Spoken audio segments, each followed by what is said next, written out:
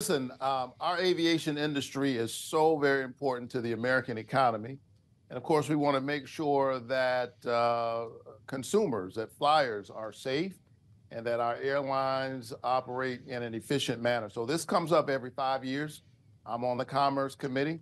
We've been working on this bill for more than a year. I have been especially focused on the issue of bolstering our workforce pipeline. We have a shortage of pilots, aviation mechanics, other people who work in the industry, and we are barely pulling from uh, all of our human talent. So I have provisions in the bill that address that along with other things. And uh, I remain very hopeful that we'll get all of this over the finish line before the deadline come Friday. Okay, so Senator, in your mind, there is not a chance that a short term authorization may need to happen, considering this doesn't just need to make it through your chamber, but the House as well. Listen, uh, we are in the midst of the sausage making that happens in Congress, but uh, I think uh, there is a, a commitment, a, a, large consensus that we, we need to try to get this over the finish line. And I, I remain hopeful that, that we will.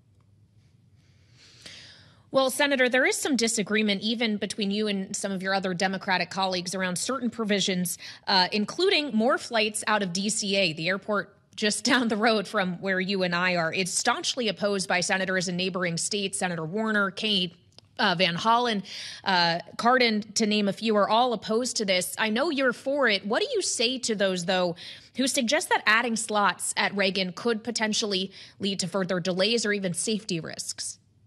Well, I have great respect and, and really affection for uh, my colleagues in Maryland and Virginia, but they are wrong on this issue, uh, to put it bluntly. They're just wrong. Uh, this will not compromise safety in any way. Uh, we have addressed this issue with, uh, with the FAA. Uh, basically, we want to make sure that flyers throughout our country have access to the nation's capital. This is the seat of government. And uh, basically, this is a modest proposal that will add about 1% uh, to uh, DCA's daily operations. Uh, I think that my colleagues respectfully have certain interests that they're trying to protect. Their safety issue simply does not hold water. And uh, I'm hopeful that at the end of the day, um, uh, we'll be able to have some more flights. really, it's just a handful more flights coming in and out of uh, the airport that serves the nation's capital, and certainly people west of the Mississippi uh, should have access, as well as folks on this side who, who go back and forth every single day.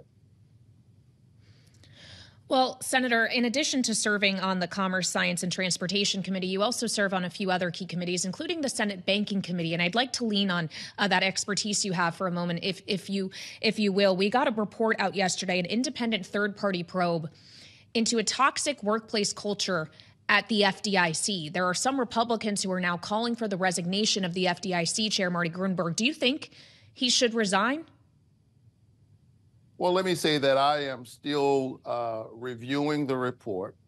Uh, what I am seeing there, some of the things that I, I see there are, are concerning, even disturbing. Uh, but we will hear from the chairman uh, in just a few days. Uh, he will appear before my committee and uh, we'll get a chance to hear from him directly, uh, and we'll see where we go from there.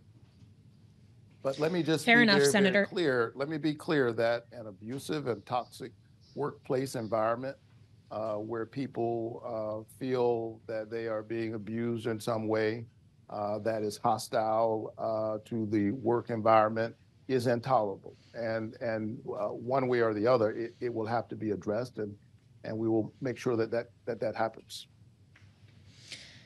Well, and Senator, we'll look forward to that testimony uh, before the Banking Committee in just a few days. There, of course, is a lot uh, still happening that is getting attention outside of Washington, including Israel, where there have been moves into Rafah, the Gaza uh, city, in which more than a, a million Palestinians are taking refuge. And we have now gotten confirmation from the Defense Department, uh, from the Secretary Lloyd Austin, that the U.S. has withheld, pause for now, a shipment of bombs to Israel over concern about how they may be used in Rafah. Is this a appropriate for the administration to be doing at this time, sir? I'm very concerned about what's going on in Gaza.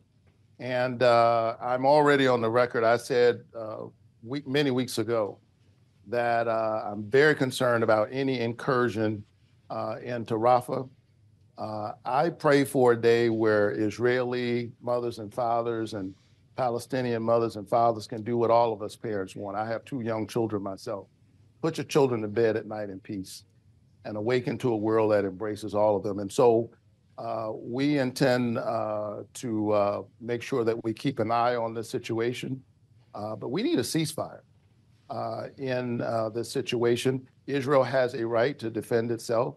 I am deeply offended and hurt by what happened on October 7th, uh, where we saw this attack, where we saw rape and sexual assault used as a weapon of war.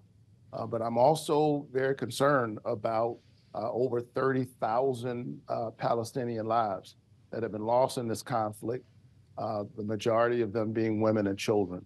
Uh, so uh, I'm hopeful that at the end of the day, we will recognize that the answer to death and destruction is not more death and destruction.